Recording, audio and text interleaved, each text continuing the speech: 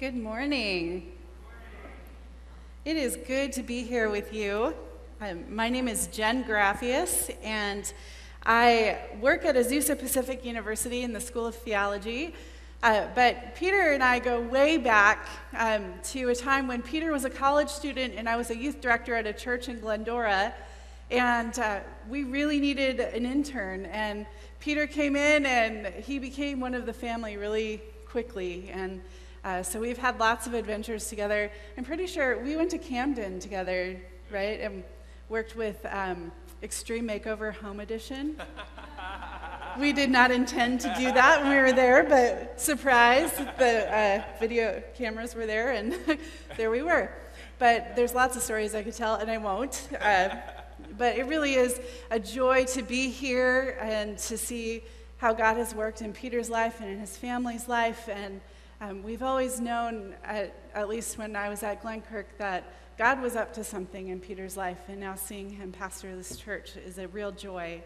And um, so today we're going to dive into Philippians. I know you're working through a theme of saints together, and so today let's turn to Philippians 3, beginning in verse 4. And hear the word of God. It says this even though I too have reason for confidence in the flesh. If anyone else has reason to be confident in the flesh, I have more. Circumcised on the eighth day, a member of the people of Israel, of the tribe of Benjamin, a Hebrew born of Hebrews. As to the law, a Pharisee. As to zeal, a persecutor of the church. And as to righteousness under the law, blameless. Yet, whatever gains I had, these I have come to regard as loss because of Christ. More than that, I regard everything as loss because of the surpassing value of knowing Christ Jesus my Lord. For his sake, I have suffered the loss of all things, and I regard them as rubbish, in order that I may gain Christ and be found in him, not having a righteousness of my own that comes from the law, but one that comes through faith in Christ the righteousness of God based on faith. I want to know Christ and the power of his resurrection and the sharing of his sufferings by becoming like him in his death, if somehow I may attain the resurrection from the dead. But not that I have already obtained this or have already reached the goal, but I press on to make it my own because Christ Jesus has made me his own. Beloved, I do not consider that I have made it my own, but this one thing I do, forgetting what lies behind and straining forward to what lies ahead, I press on toward the goal for the prize of the heavenly call of God in Christ Jesus. Amen. A good text for today. So, Matt Emmons had the gold medal in sight. He was one shot away from claiming victory in the 2004 Olympic 50 meter three position rifle event. He didn't even need a bullseye to win. His final shot just needed to hit the target. Normally, the shot he made would have received a score of 8.1, which was more than enough for a gold medal. But in what was described as an extremely rare mistake in elite competition, Emmons fired at the wrong target. Standing in lane two, he fired at the target in lane three. And his score for a good shot at the wrong target? Zero.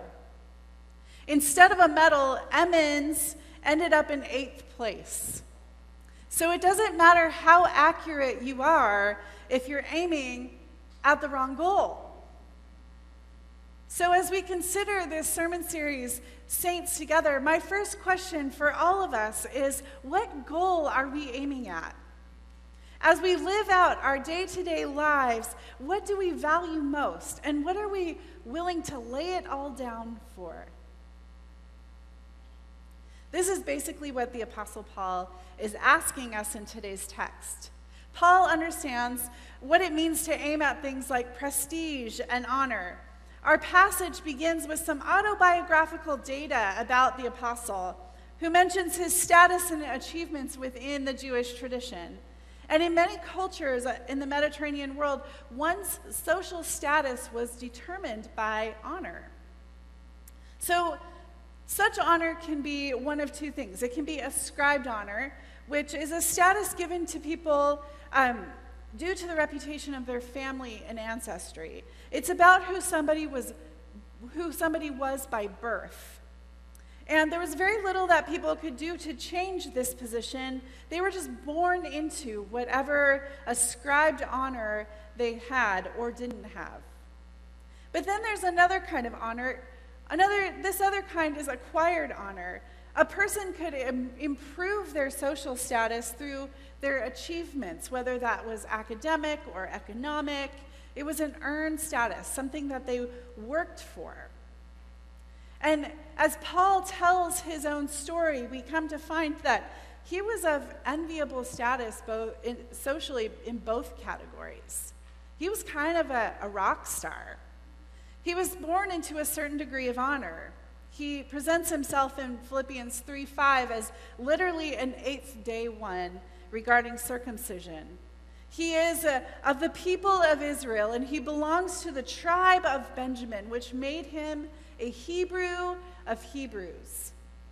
This means for that, those who cared about a family's heritage, there was no doubt that Paul had some pedigree. And as a true Israelite, he was distinguished from Gentiles or God-fearers who were non Jewish sympathizers of Judaism. He was really a blue blooded insider. As for honors that he had acquired, Paul presents himself as, as to the law a Pharisee, as to zeal a persecutor of the church, and as to righteousness under the law, blameless. Pharisees were known for their affection of the Torah and their strict law observance. So, Paul had formerly persecuted followers of Jesus because they, just as Jesus himself, propagated a somewhat liberal interpretation of certain commandments, and there were some Jewish people who were just not having it. Paul had taken pride in his ethical blamelessness, according to which he had gained righteousness. Paul was quite the man. And in this text, there's a moment, much like the 2004 Olympics with Matt Emmons, where we find out that all of that honor is just aiming at the wrong thing. This is not the stuff that matters in God's kingdom.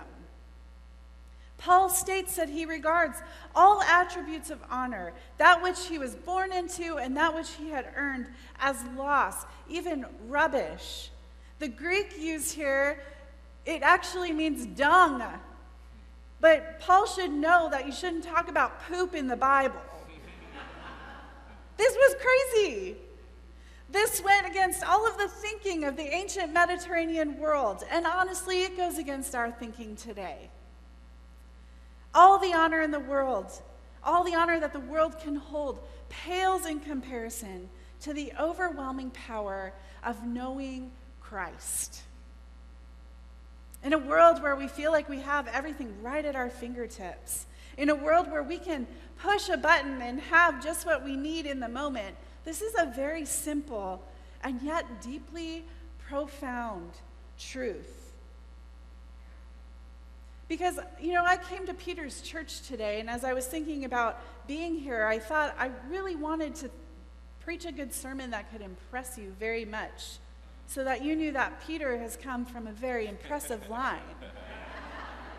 I tried to do that. I really did.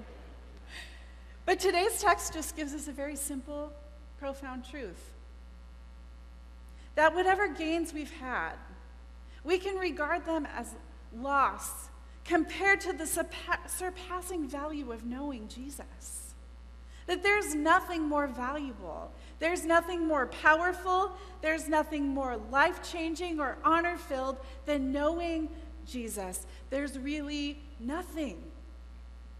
In a world where the brokenness of humanity is headline news on a regular basis, I wonder a lot God, what am I supposed to say to the college students that I speak to?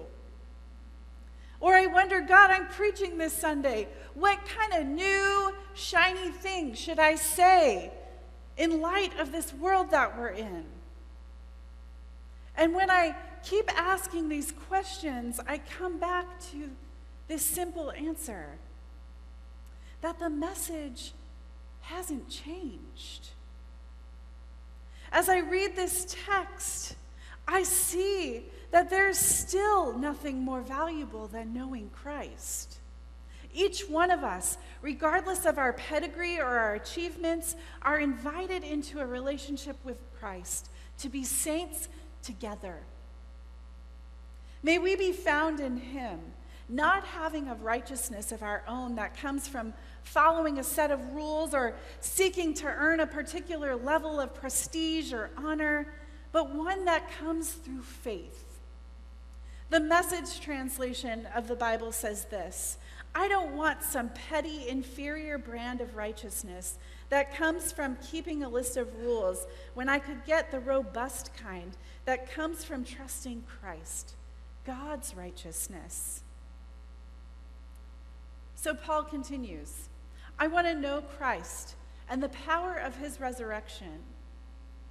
And in a world where we feel like we've got things pretty figured out, let us remember that today. May we know Christ's resurrection power. May we understand that our works alone will not heal the brokenness of this world. But, but, there is power in Christ. And in Christ's resurrection, even death was conquered in the resurrection. Now, we may not always live this out perfectly. Paul, too, admits in the text, not that I have already obtained this or have already reached the goal. He finds himself on the way, though. But that is no problem because the old order, because the old order of honor and achievement no longer counts. I'm going to cough, hang on. I've been struggling with my voice today. Um, that old order doesn't matter. Um, Paul, what Paul is doing here is actually bringing new vision into his tradition. so he says, Not that I have already obtained this, but I press on to make it my own because Christ Jesus has made me his own. And forgetting what lies behind and straining forward to what lies ahead, I press on toward the goal for the prize of the heavenly call of God in Christ Jesus. May we too be people bringing new vision into our traditions I have a friend who's a trail runner. She's amazing. She runs, like, on her days off to, for fun, she runs like 10 miles through the wilderness. Um, she's just stunningly athletic and a wonderful human. She was recently training for a 100 mile race through the Utah wilderness. And about seven weeks before her race, during one of her practice runs, she had a terrible fall on the trail. And um, in that fall, she completely dislocated her elbow and had massive lacerations. So she ended up in the hospital, and she was chronicling this on her social media. So many of us who were friends with her figured this race was done, that she wouldn't be running anymore. But what was surprising is she was so persistent. She ended up actually in physical therapy, and she, they were stretching her arm back into place and helping her get back on her feet. And a couple of weeks later, actually, she was back running on the trails. She had a splint on her arm, and she started running. On the day of the 100 mile race, um, which we thought she wasn't going to run, she posted a video of her coming up on the finish line. And she explained that she ran that race a lot slower than she was first expecting. She had to stop at one point in the race and she wasn't sure if she could go on because she was experiencing shin splits. And for the last 10 miles of the race, she ran on those shin splits. And as she crossed the finish line, she was recording herself and she could do nothing but cry the whole way over the line because she got across this finish line when she did not think that was going to happen. She pressed on. And today's scripture is a word of encouragement for us that in the midst of trials, in the midst of pain, and in the face of unexplainable brokenness, that we are not called to lean into our own power. We're called to lean into Christ. Each one of us. We're called to be the people that, Christ, that God has, for, has created us to be. And we know that we're not perfect, but we can be perseverers. So press on. There may be days or seasons that are much more painful and difficult than others, but friends, press on. Lean into the power of your Savior who loves you so deeply and is calling you forward. I'm reminded of the words of a hymn written by the great hymn writer Fanny Crosby. Her story is really amazing to me. As a six week old baby, Fanny Crosby had an eye inflammation, and her regular physician was out of town, and so they called in a substitute physician. And that physician the treatment that he gave Fanny actually made her go blind for the rest of her life. She entirely lost her sight. And many people asked her if she was bitter about that. She said, no. That she resolved at an early age to leave all care to yesterday and to believe that the morning would bring forth its own peculiar joy. A well meaning minister once told her that it was a pity that she didn't have her sight. And she responded, If at birth I had been able to make one petition of my Creator, it would have been that I should be born blind. Why? asked the minister. And she replied, Because when I get to heaven, the first sight that, I, that shall ever gladden my eyes will be that of my Savior. And she wrote many hymns speaking of seeing her Savior face to face, but this one stands out to me as especially poignant. She says, When my life work is ended and I cross the swelling tide, when the bright and glorious morning I shall see, I shall know my Redeemer when I reach the other side, and his smile will be the first to welcome me. I shall know him. I shall know him and redeemed by his side I shall stand. I shall know him. I shall know him by the print of the nails in his hand.